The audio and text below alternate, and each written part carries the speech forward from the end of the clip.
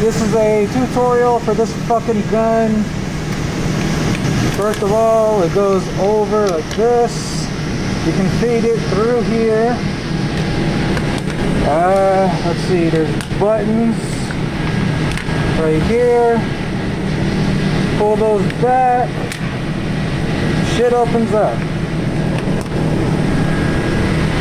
It gets fed just like this. Nothing crazy, nothing weird. Just goes right in like that. Close the fucking thing.